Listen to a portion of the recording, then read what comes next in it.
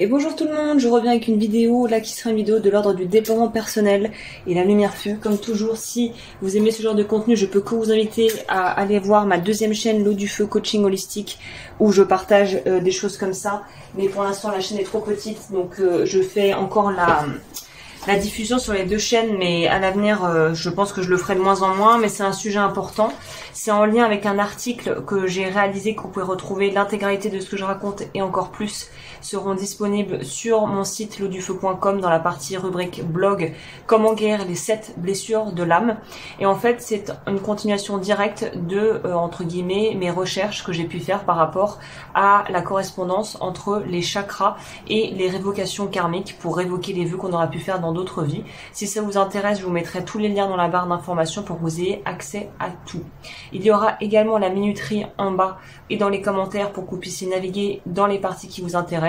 Moi là, je vous invite vraiment, si vous avez envie de prendre votre temps avec moi, on va aller euh, naviguer euh, dans les méandres de notre inconscient tous ensemble pour voir comment faire, comment on peut en fait euh, cibler nos blessures de l'âme et comment on peut faire aussi pour s'en libérer et qu'elles ne nous pèsent plus dans notre vie et qu'on arrête de répéter des schémas qui nous rendent, qui nous rendent malheureux finalement. Donc là, évidemment, je me suis basée aussi sur des sources que vous retrouverez dans le blog. Je, liste toutes les sources euh, qui m'ont inspiré l'article que j'ai rédigé. Et euh, pour les blessures, euh, les révocations de vos karmiques, j'ai fait une vidéo sur le sujet et je vous laisserai la regarder sur la chaîne et sur mon blog. Je vais pas réitérer tout.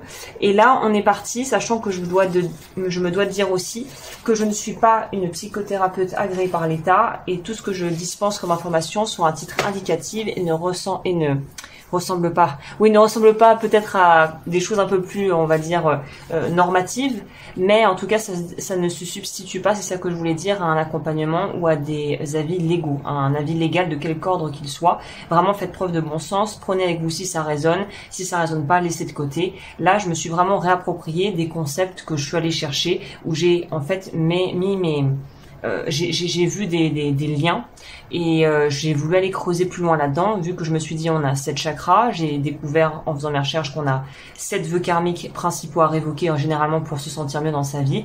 Et je me suis dit bah ça me paraît logique qu'il y ait sept blessures de l'âme et non pas cinq comme on entend habituellement.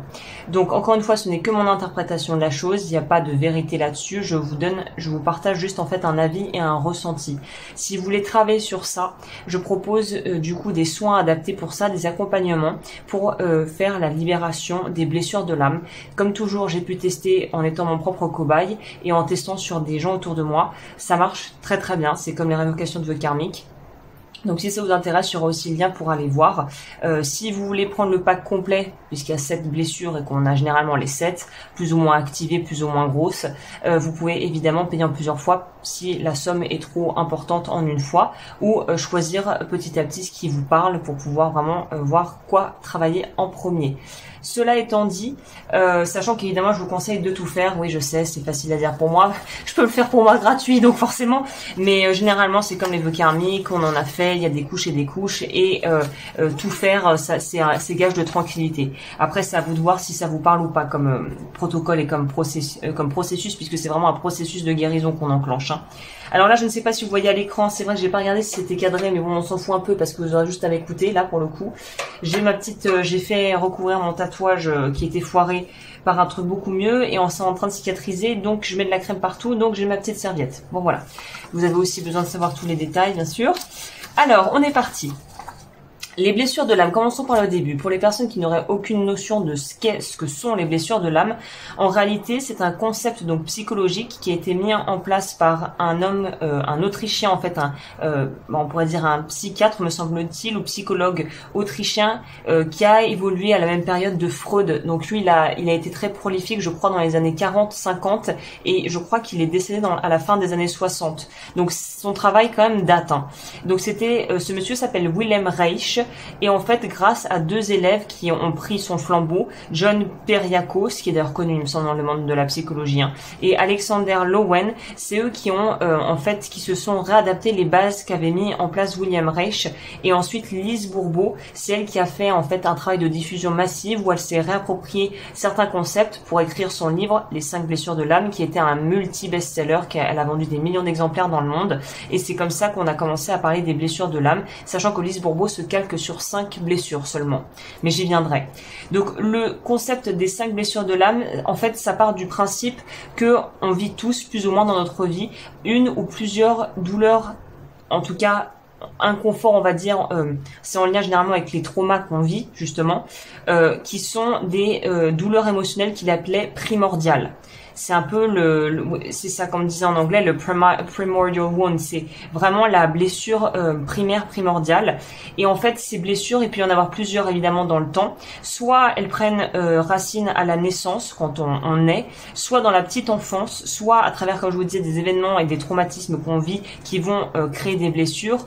Et parfois, ça peut aussi, d'ailleurs, j'ai pas envie de dire parfois, de, en grande majorité, quand on va s'intéresser au transgénérationnel, ça veut dire aux choses qu'on va hériter inconsciemment ou consciemment, ou même au niveau de, notre ADN, de notre lignée familiale et des ancêtres, généralement, on va malheureusement se repasser la patate chaude de génération en génération par rapport aux blessures justement qu'ont eu les parents, qu'ont même eux-mêmes eu les grands-parents et ainsi de suite.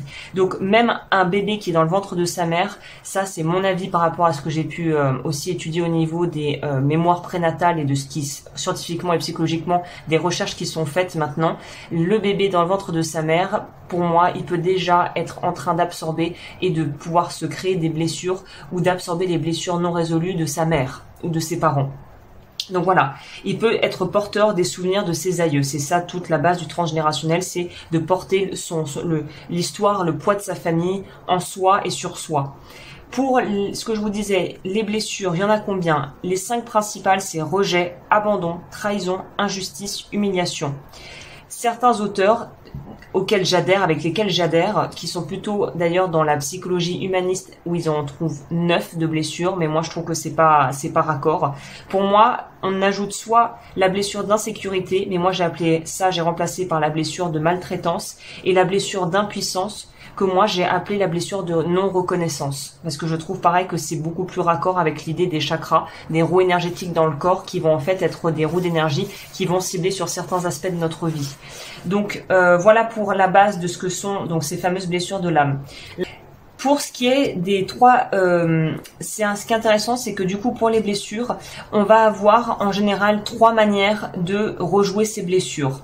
Donc vous allez voir qu'est-ce qui est le plus euh, raccord par rapport à vous quand on a vécu une blessure d'une façon voilà qui devient en fait quelque chose qui nous fait souffrir et qui devient euh, une, une, une, souffrance pour nous, donc ça devient forcément quelque chose de limitant, de limitant pardon, euh, pour euh, notre avancement et notre évolution personnelle, et eh bien en fait on va créer des choses l'inconscient, on va mettre en place des stratégies pour nous protéger encore une fois. Donc c'est sans intention de nuire, c'est en pensant bien faire que le système de préservation qui est en place va en fait mettre en place des mécanismes pour se protéger. Malheureusement généralement le fait de vouloir se protéger va renforcer euh, des, euh, des mécanismes qui se jouent déjà de base et va renforcer ce qu'on voudrait défaire. Donc c'est pour ça que le plus tôt on prend conscience des comment on rejoue nos blessures, le plus tôt on peut s'en libérer.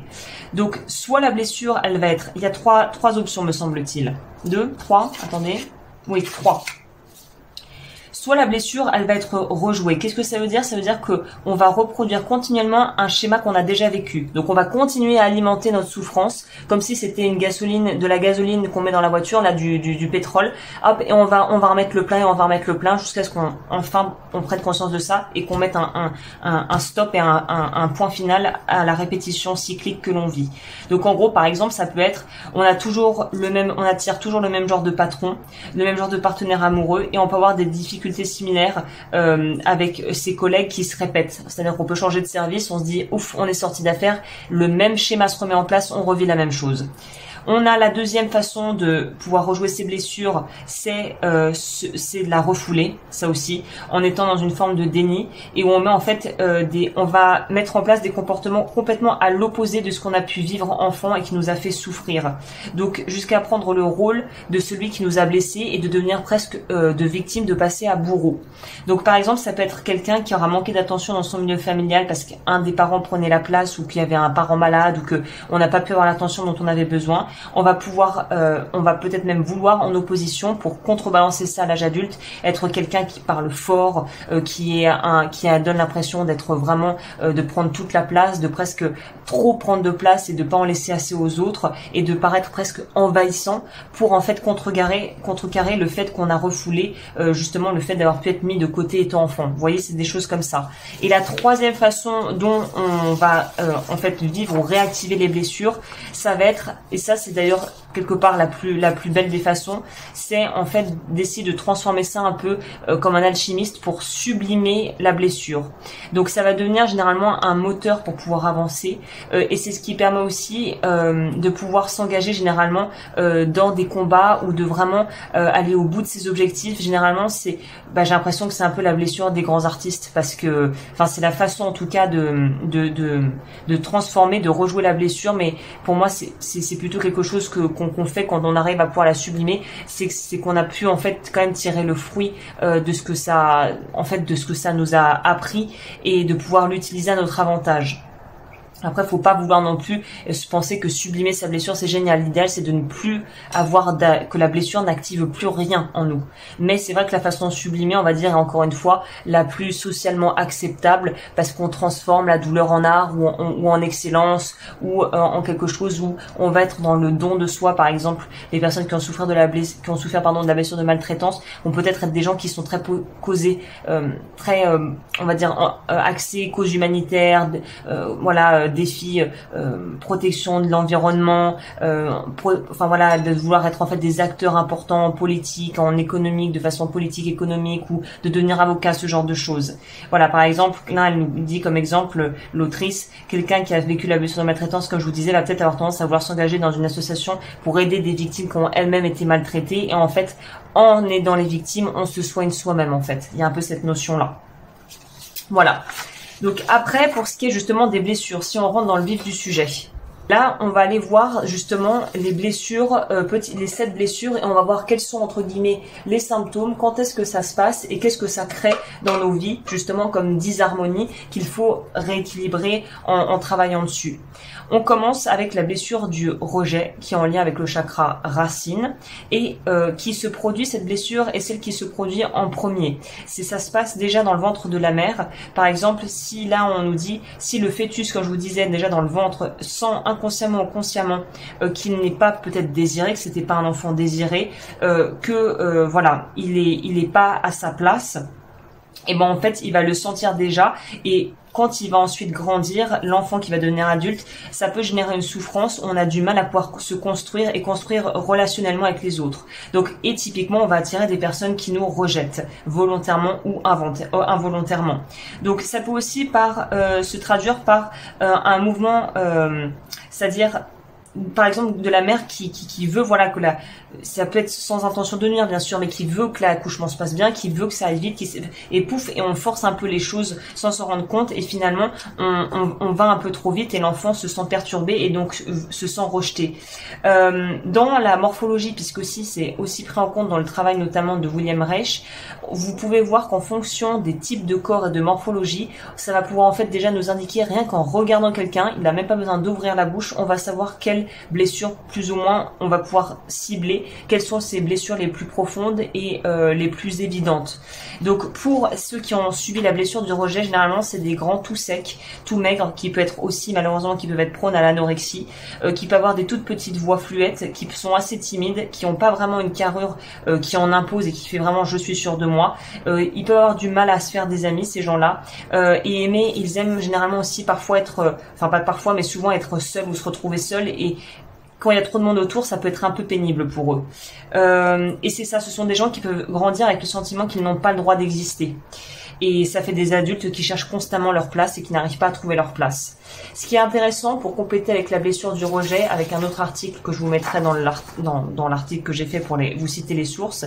Donc la blessure de rejet, comme on dit, c'est lié à l'absence d'affect et d'intérêt. Donc la personne qui a cette blessure a pu être un enfant qui devait s'effacer, ne pas déranger, qui s'est mis en retrait, ou au contraire qui a pu se rebeller euh, en ayant, en faisant l'opposé inverse pour pouvoir attirer l'attention des gens, en faisant plein de, en fait plein de bêtises pour qu'on s'intéresse à lui.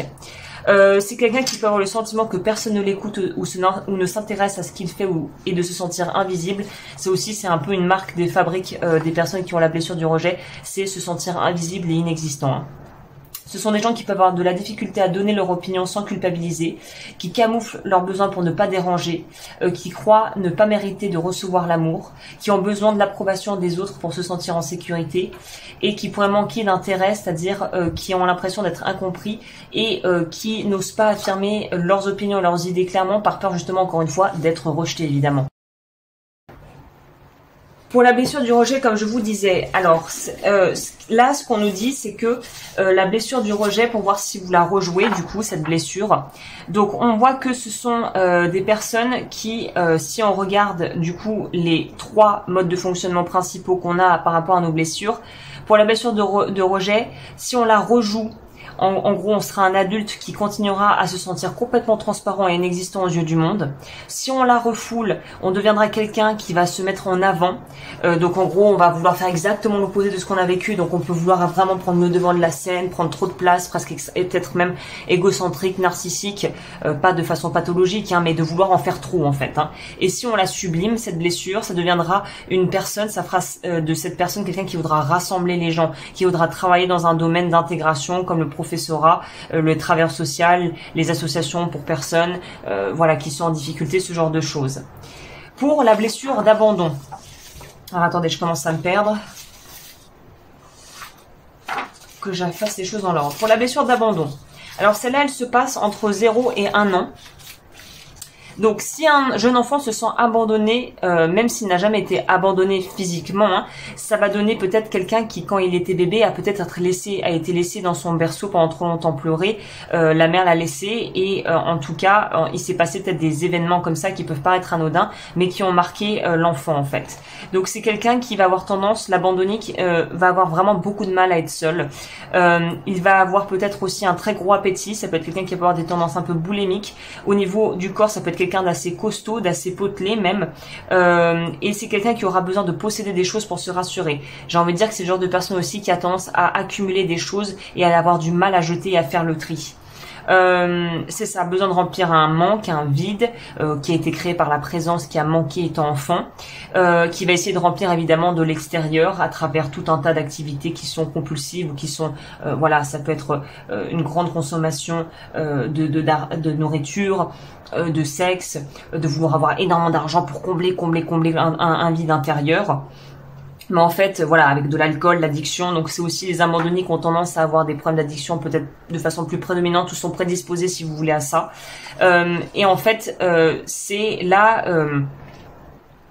Ah, je vous ai pas donné, attendez.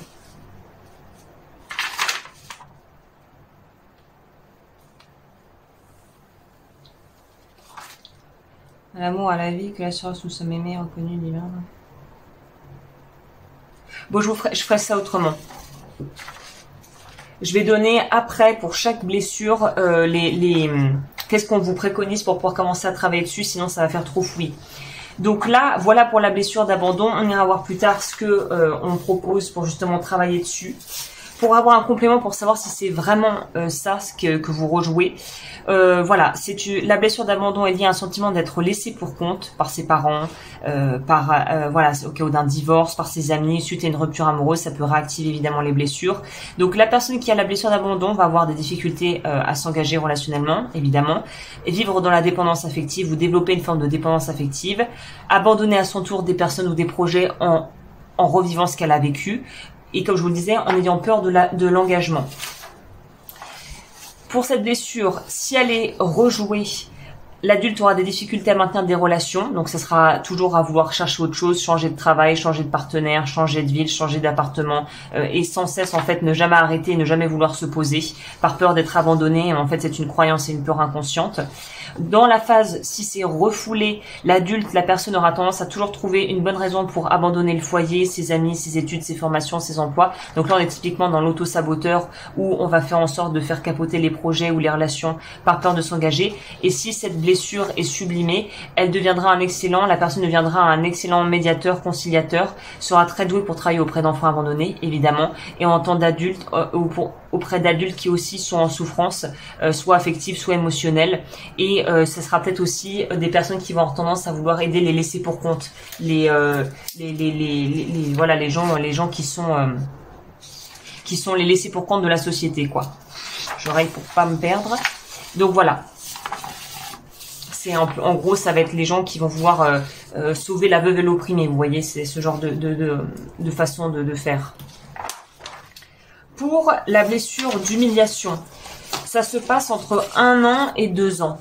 Alors là, c'est quand, généralement, c'est terrible parce que ça, c'est les parents qui ont tendance à être un petit peu trop, comment dire en anglais, pushy avec leurs enfants, à vouloir un peu trop les pousser. Il faut qu'ils aillent au pot super vite, il faut qu'ils apprennent à lire super vite, il faut qu'ils apprennent à marcher super vite. Enfin, les parents un peu perfectionnistes, un peu dans cet état d'esprit, euh, vont avoir tendance à créer euh, des blessures d'humiliation chez leurs enfants. Parce que là, en fait, la blessure d'humiliation, elle est créée à partir du moment où on ne laisse pas à l'enfant le temps d'évoluer à son propre rythme. Donc, euh, voilà c'est ce que je suis en train de vous dire. C'est marrant parce que j'ai pas relu, mais c'est exactement ça. Vouloir que l'enfant aille sur le pot super vite, qu'il devienne propre super vite, qu'il marche super vite. Et en fait, euh, ça crée une relation où l'enfant va comprendre en gros que tout est au mérite. Donc il va avoir tendance à se dévaloriser, à se sentir incapable et ça peut même aller jusqu'à se sentir humilié dans son être et, euh, et à se dire qu'en fait il est bon à rien quoi. Donc euh, il peut se tâcher, donc avoir tendance à se tâcher en mangeant, en faisant des activités, à se tâcher. Euh, il peut avoir honte de lui aussi, de son entourage.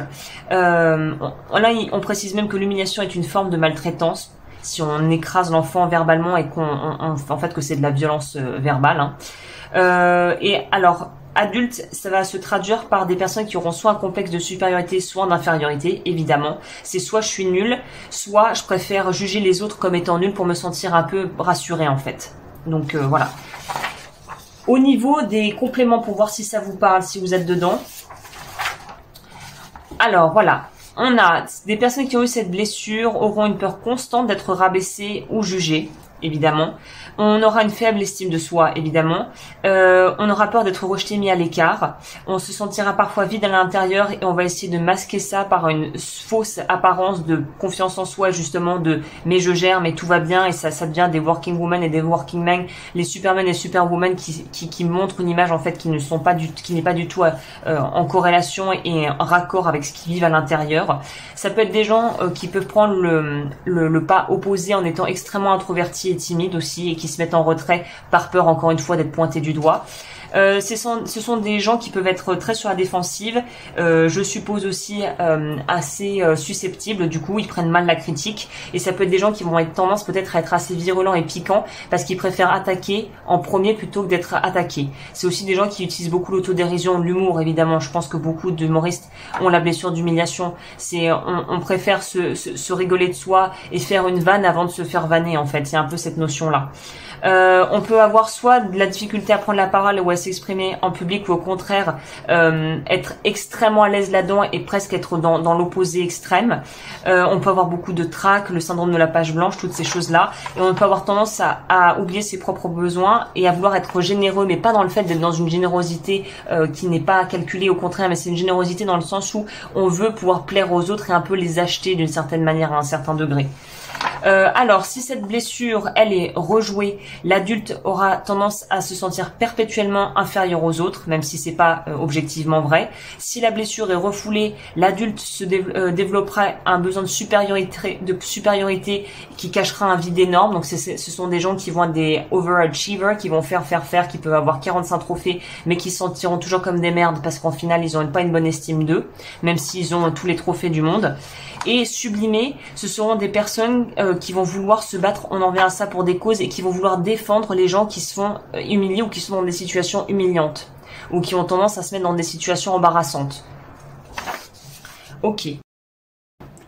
Maintenant, nous passons à la blessure de trahison. Alors celle-ci, elle se passe entre 2 et 3 ans.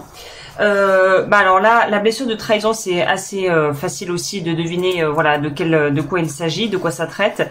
Donc en gros, bah à cette période, notamment en plus si on est dans des familles avec des foyers recomposés ou des parents qui vont peut-être se séparer durant cette période, cette période, pardon, l'enfant peut avoir le sentiment en fait de ne pas pouvoir faire confiance aux autres en fait.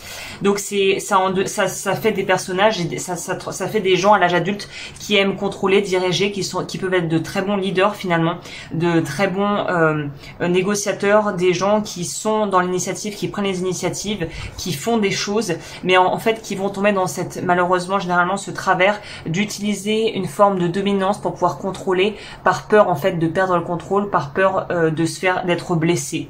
Donc ça peut être des gens contrôlants, ça peut être des gens qui euh, vont avoir tendance à, à toujours reporter la faute sur l'autre, à toujours pointer du doigt les torts de l'autre et à ne pas arriver à pouvoir reconnaître ses propres torts. Euh, c'est des gens qui peuvent soit prendre énormément de responsabilités, mais paradoxalement dans leur vie privée, ne prendre aucun, aucune responsabilité par rapport à ce qui peut se passer dans le foyer. Ou au contraire, c'est des gens qui se disent je ne prends responsabilité de rien et qui vont se planquer dans des petits jobs où ils sont euh, entre guillemets sous euh, sous sous évalués et euh, où ils sont en bien en dessous et en deçà de leur vrai potentiel parce qu'ils veulent pas se mouiller et qu'ils veulent un petit truc plan plan où ils peuvent se cacher en fait où ils n'ont pas de responsabilité à prendre.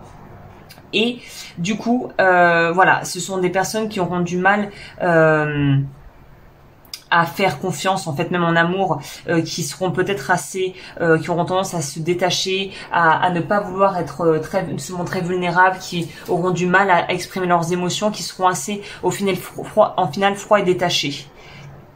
On va voir en complément si ça vous parle pour la trahison. On nous dit ici évidemment, la blessure de trahison se, euh, se construit dans un milieu où une forme, on, ressent une forme d'insécurité. Hein. et donc il y a un manque de protection qui fait qu'on se surprotège. Donc ça va être des gens qui vont se blinder, qui vont avoir des carapaces énormes et qui ne laissent rien paraître en fait. Hein. La, alors, la personne, ceux qui ont cette blessure de trahison, euh, se sentiront facilement exploités ou trahis, ou au contraire seront très, comme je vous le disais, indépendants, solitaires et qui ont besoin de manager ou de contrôler les gens. Euh, ils auront du mal à faire confiance et peuvent avoir des tendances à la paranoïa, évidemment ça va ensemble, auront du mal à se confier, euh, ou auront tendance à avoir peur de se faire manipuler, donc euh, vous se resteront très euh, fermés finalement, euh, auront peur de se faire séduire et, et préféreront peut-être même prendre les devants directement pour pas en en fait euh, par peur aussi, c'est marrant, par peur du rejet aussi. Donc la peur, la blessure du rejet peut être activée ici. Donc c'est des gens qui peuvent être très séduisants, euh, qui euh, peuvent vraiment avoir une apparaître comme le gendre ou la femme idéale. Et en fait, quand on creuse, on voit qu'il y a un truc qui coince, quoi, hein, clairement. voilà, des gens qui ont du mal à s'engager dans des relations, qui n'aiment pas être contrôlés, qui aiment être libres, qui peuvent parfois avoir d'ailleurs de, sacrés problèmes avec l'autorité, qui ne supportent pas l'autorité, qui peuvent avoir tendance à répéter le schéma malheureusement en, disant qu'ils vont tenir parole et puis en fait ils se débinent euh, et ils reproduisent le schéma et ce sont des gens qui paradoxalement aussi euh, peuvent dire et euh, clamer haut et fort qu'ils ne supportent pas le mensonge mais qui peuvent tendance parfois à transformer un peu la vérité à leur avantage pour ne pas se trouver en position finalement de vulnérabilité. Donc quand cette blessure elle est rejouée, eh bien la personne va devenir trop naïve, fera trop confiance et euh, se fera avoir souvent et se sentira trahi souvent. Si elle est refoulée cette blessure, c'est une personne qui ne fera confiance à personne, euh, quelqu'un de très, euh, parano. Et si elle est sublimée, c'est une personne qui va en fait vouloir être en contact et dans un, dans un milieu même professionnel où il peut voir où la personne pourra voir le vrai de l'être humain ou de la ou de la nature ou de l'espèce humaine on va dire donc ce sont des, des personnes qui vont vouloir travailler avec des qui vont être sur le terrain dans le vrai, dans le dur, qui vont vouloir travailler avec les enfants, travailler pour l'écologie, travailler dans la nature, travailler avec les plantes, travailler avec les enfants en bas âge, travailler avec les enfants handicapés. C'est des gens qui vont vouloir en fait aller vraiment là où ils savent qu'on peut pas mentir, qu'on peut pas tromper, qu'on peut pas tricher, qui vont vouloir être dans des trucs, dans des, dans des jobs qui sont vraiment où il faut être très authentique, paradoxalement. Euh, pour les personnes qui ont la blessure d'injustice, alors la blessure d'injustice, évidemment, euh, là ça coule de source aussi, euh, ça se crée euh, généralement entre 3 et 4 ans cette blessure. Donc là pour la blessure d'injustice, bah, c'est qu'on a été par exemple accusé à tort d'une bêtise qu'on n'a pas faite étant enfant. Voilà, ça peut être des choses de cet ordre, à l'école être puni par la maîtresse alors qu'on n'a rien fait.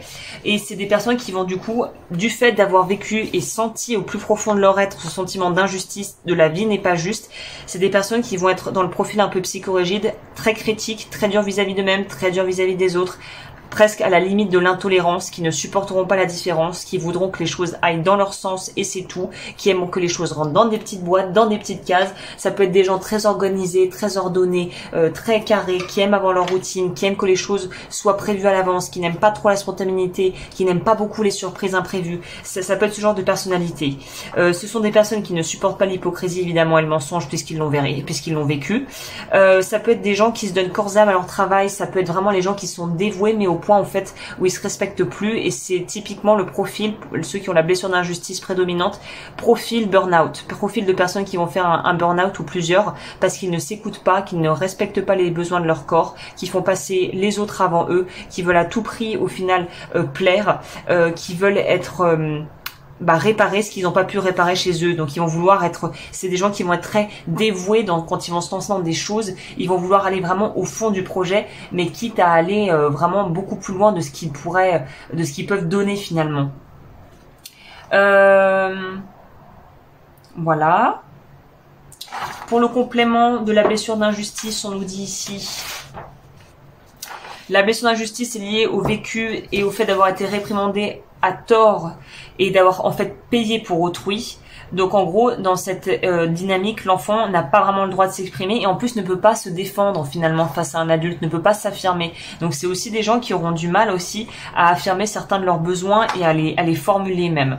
Donc la personne qui a la blessure d'injustice se sentira en permanence soit victime en disant presque presque blasé en fait. Il y en a qui vont avoir tendance à, à vouloir jeter l'éponge, l'éponge pardon, et à dire des trucs comme c'est toujours sur moi que ça tombe, c'est toujours comme ça, c'est la vie, des phrases un peu plan-plan de ce genre pour en gros euh, se complaire inconsciemment dans une posture d'opprimé et de victime. Alors que c'est pas ça qu'ils veulent créer, mais c'est un peu un, schéma qui se répète en fait. Euh, c'est aussi des personnes qui seront, comme on l'a vu, extrêmement méfiantes, je vous le disais plus haut, des personnes qui peuvent être extrêmement exigeantes et très, voire au point d'être perfectionnistes, mais au point où ça les empêche de vivre. Euh, c'est des gens qui peuvent aussi avoir une forme, comme je vous le disais plus haut, de fatalité. Bah, c'est la vie. En gros, on baisse les bras avant même d'avoir commencé. Ou euh, ce seront des personnes, au contraire, qui voudront à tout prix pallier avec un manque d'estime d'eux en voulant rétablir la vérité à tout prix. Voilà. Euh, ça peut être aussi d'ailleurs pour moi typiquement le profil un peu fanatique euh, qui vont euh, voilà devenir des gourous, qui vont vouloir avoir du pouvoir ou qui vont être justement enrôlés dans des trucs genre secte et compagnie.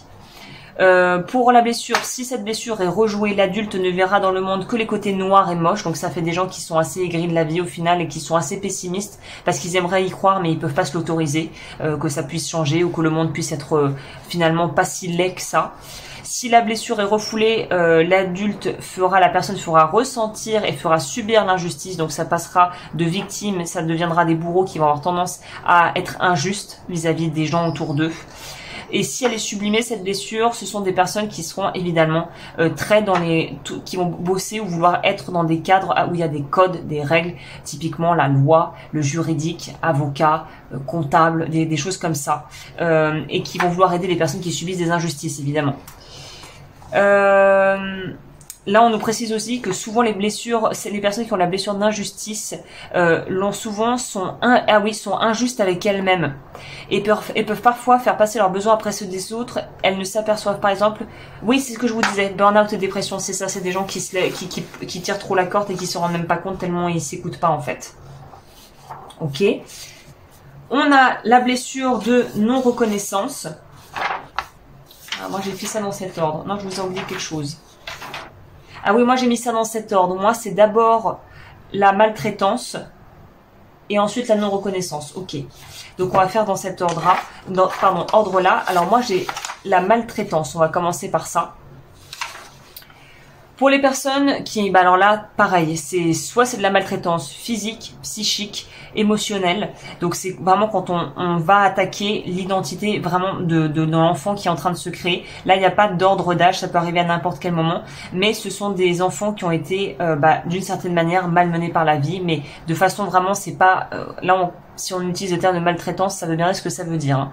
Donc ce sont des adultes qui ne supporteront pas la violence, euh, qui voudront garder la, paix et l'harmonie au point de s'écraser encore une fois sur leurs propres besoins par peur du conflit, ou ça pourrait être des gens euh, qui vont avoir tendance à vouloir faire payer aux autres ce qu'ils ont vécu. Typiquement un enfant battu qui va devenir un bourreau et qui va vouloir tabasser les gens euh, et rentrer dès qu'il a bu un, verre, qui va vouloir taper tout le monde et qui va devenir très ingérable. Donc ça peut être des extrêmes comme ça, mais ça sera toujours en lien avec des blessures qui n'ont pas été guéries et des blessures vraiment qui ont marqué l'enfant ou l'ado ou le jeune adulte. Hein.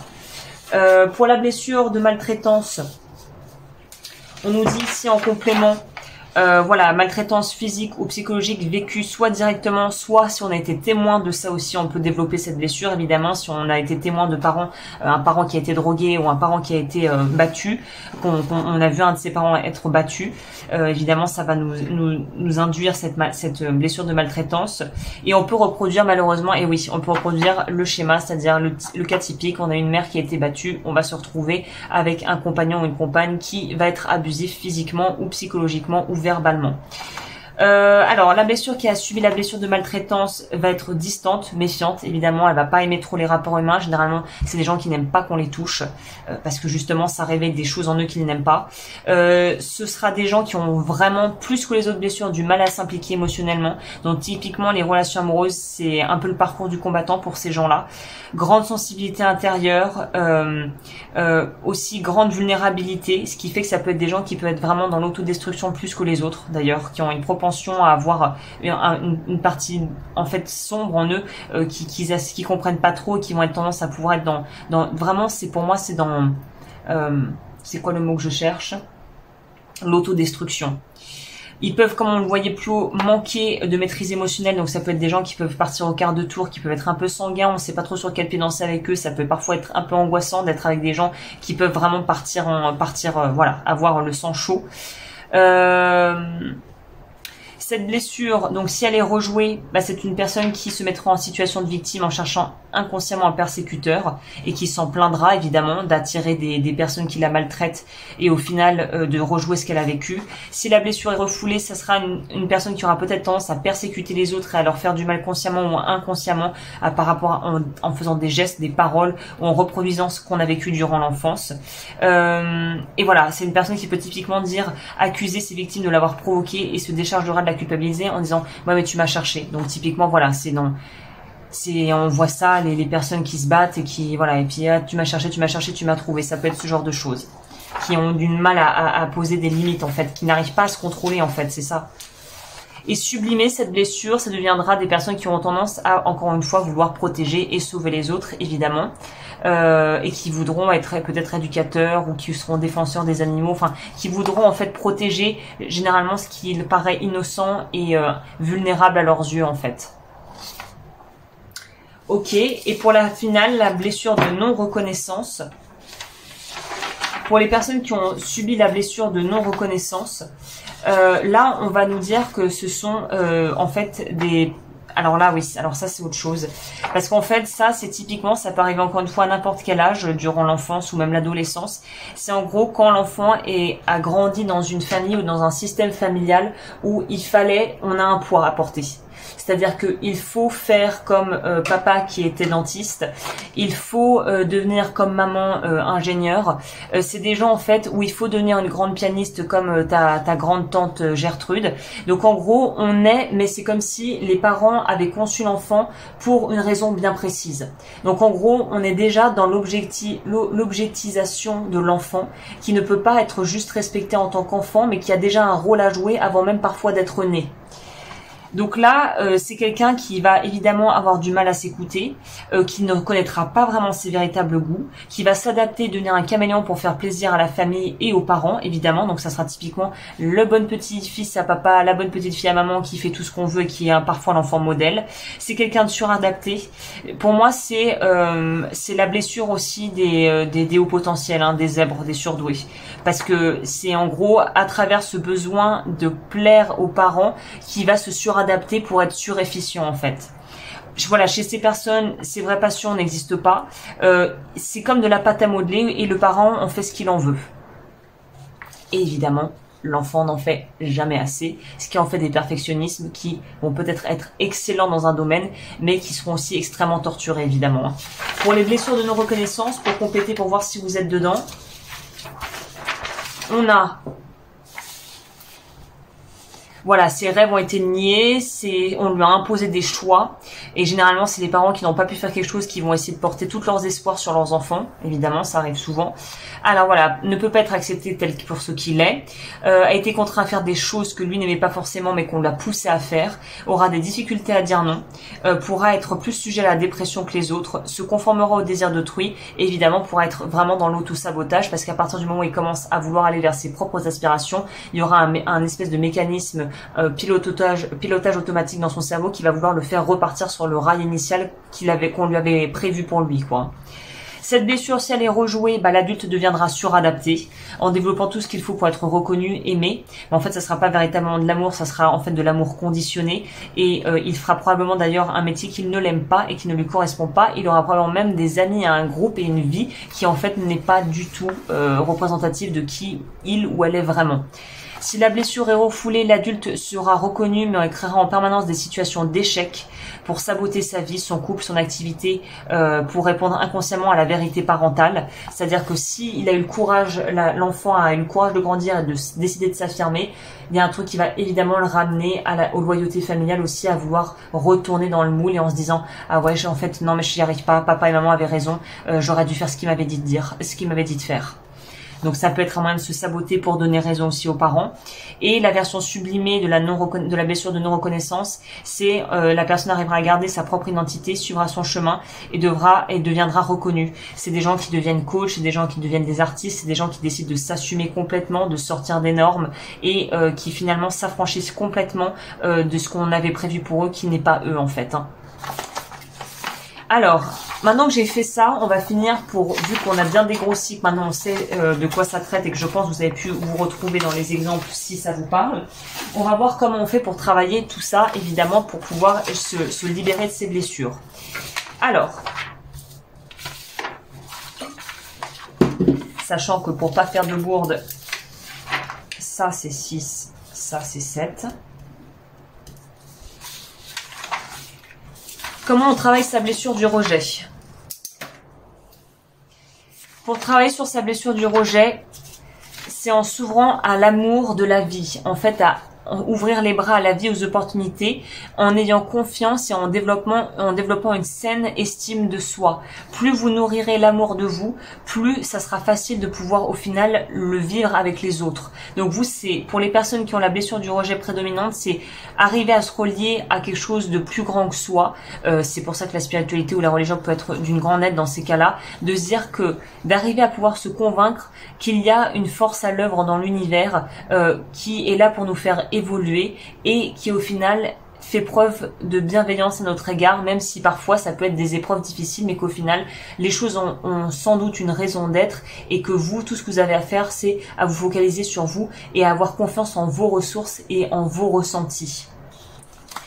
Pour les personnes, voilà, euh, pour celles et ceux qui sont un peu plus spirituels, c'est l'assurance que nous sommes aimés et reconnus du divin en tant qu'être de lumière, que nous pouvons guérir cette blessure. En gros, d'incarner notre vraiment notre notre de réintégrer notre âme dans notre corps et d'être vraiment en lien avec notre reliance intérieure en fait, si vous voulez. Pour la blessure d'abandon, comment on travaille ça? En comprenant que l'on n'est pas seul et qu'on est entouré et que au final la vie encore une fois n'est pas contre nous mais fonctionne main dans la main avec nous et que au final euh, si on arrête de s'abandonner soi-même et de se laisser tomber, eh bien on n'empêche pas le enfin c'est comment dire c'est pas qu'on n'empêche pas les autres de le faire mais c'est que on se rend compte que finalement on n'a plus autant d'attentes vis-à-vis des autres et on n'a plus autant besoin d'être soutenu par eux parce que l'on sait qui l'on est et c'est cette notion de pouvoir être un bon parent pour soi et de pouvoir vraiment s'accueillir soi-même et savoir que la seule personne avec qui vous allez vivre toute votre vie jusqu'au dernier souffle, c'est vous-même et de comprendre que le plus tôt vous arriverez en final à guérir votre relation à vous-même, le plus tôt vous pourrez en fait vivre quelque chose où l'abandon n'aura plus vraiment lieu d'être puisque vous vous, vous avez vous-même. Donc euh, on ne peut pas vous abandonner si vous vous avez vous-même en fait. Pour la blessure d'humiliation, on nous dit que c'est en comprenant que tout le monde, en gros, a autant de valeur les uns que les autres, que personne n'est moins bien qu'un autre, et qu'au final, c'est en donnant de l'amour à nous-mêmes qu'on peut aussi aider les autres. C'est encore cette notion de coupe. On remplit sa coupe avant de pouvoir finalement en faire bénéficier les autres. Donc pour la blessure d'humiliation, c'est se rendre compte que il euh, n'y a pas de honte à être qui l'on est, et euh, en gros, il y a un gros travail de fond à faire sur cette notion de sortir de la comparaison, du jugement euh, et du besoin de vouloir toujours se comparer et de vouloir se mettre en, compétition avec les autres en fait. Pour la blessure de trahison, on va nous dire euh, de pouvoir apprendre justement à faire confiance. Et oui, évidemment, en déléguant, on apprend à faire confiance aux autres, en trouvant sa juste place et en acceptant qu'on fait tous des erreurs. Parce que comme on a vu, les personnes qui sont dans la blessure de trahison euh, vont justement avoir du mal à, euh, au final, laisser une chance aux gens et vont vouloir éjecter tout de suite dès qu'ils sentent qu'il y a un truc qui pourrait être potentiellement dangereux, de mettre la personne sur le siège éjectable. Et là, on dit de laisser une chance aux gens, de pouvoir révéler qui ils sont vraiment avant directement de les juger et de, les, et de vouloir les éjecter de votre vie. Pour les personnes qui ont la blessure d'injustice, euh, comment on gagne, on, peut soigner ça? Bah voilà, c'est en comprenant, voilà, bah ceux qui ont la blessure d'injustice, c'est devenir plus tolérant avec vous-même, avec les autres, euh, et de comprendre qu'en fait, on peut être aimé même si on fait des erreurs, et que quelque part la perfection n'est pas de ce monde. On peut pas demander aux autres d'être quelque chose que l'on n'est pas soi-même et qu'on ne peut pas être finalement intrinsèquement. Donc c'est d'apprendre à être beaucoup plus euh, souple et un peu plus malléable, dirons-nous, vis-à-vis de soi-même et vis à -vis des autres. Pour celles et ceux qui ont la blessure de maltraitance, on nous dit que c'est en travaillant petit à petit euh, sur, euh, bah, en final, vous, c'est euh, se réapproprier son histoire, reprendre vraiment contact avec son corps, avec son ressenti. si vous avez subi évidemment des abus, c'est pour moi la sophroanalyse, c'est la meilleure des méthodes que j'ai pu tester au niveau outils, on va dire psychologique et approche thérapeutique pour pouvoir réintégrer de façon corporelle les traumas pour les libérer. Donc là, il n'y a pas trop de 36 solutions pour la pour la blessure de maltraitance. Ça va être pour moi cette thérapie. Hein. Cherchez pas, c'est thérapie. Il faut passer sur le divan pour, euh, pour digérer et régler ça. Pour la blessure de non-reconnaissance, bah là aussi c'est assez évident, c'est apprendre à redécouvrir ce que vous aimez. Là on est plutôt euh, dans une approche enfant intérieur, euh, réapprendre à harmoniser et à, on va dire, assainir le lien avec son propre enfant intérieur, la version, la partie de nous qui est encore enfant, qui n'a jamais pu s'exprimer, c'est un peu le potentiel qui n'a jamais pu germer. Et c'est en gros en faisant des activités, des choses qui vont reconnecter avec vos désirs et vos plaisirs de l'enfance, s'il y en a eu, et d'apprendre vraiment à être votre propre personne, on peut dire, à être vraiment un individu à part entière qui n'est pas la pâte à modeler des autres, quoi. Et là, si on devait boucler sur comment traiter tout ça, bah là, on nous dit évidemment que c'est comme un oignon, il faut enlever les couches et les couches pour pouvoir trouver, retrouver notre être véritable et pour pouvoir aller de plus en plus profondément à la découverte de nous-mêmes en travaillant sur nous jour après jour. Donc euh, voilà, là encore une fois, c'est gnangnan, mais je vais finir avec la petite, euh, la petite, euh, le, petit mantra un peu, la, petite minute Nutella. N'achetez pas Nutella, c'est plein d'huile de palme et ça tue les, les, petits orang-outans en Amazonie. Euh, c'est euh, tout simplement l'amour. C'est de toutes les manières, toute la racine de tout pour soigner toutes ces blessures, c'est d'arriver à cultiver l'amour et le respect de soi. Et plus vous arriverez à vous octroyer cet amour dont vous avez peut-être manqué, le plus vous serez en paix avec vous-même et le plus vous pourrez l'être avec les autres et du coup apaiser beaucoup les relations et votre environnement direct. Voilà, bah écoutez, j'espère que ce dossier vous a plu. N'hésitez pas comme toujours à liker, à vous abonner, à partager si vous pensez que c'est utile. Si vous voulez me faire un don euh, pour euh, que je puisse là euh, financer mon nouvel ordinateur portable, eh bien n'hésitez pas. Si vous voulez travailler avec moi sur vos blessures, on peut parler de ça tranquillement et je pourrai vous proposer des choses en fonction de vos besoins. Et sur ce, bah, je vous souhaite une très très belle journée au soir en fonction de quand vous regarderez cette vidéo. Et je vous dis à bientôt pour de nouvelles aventures. D'ici là, prenez soin de vous.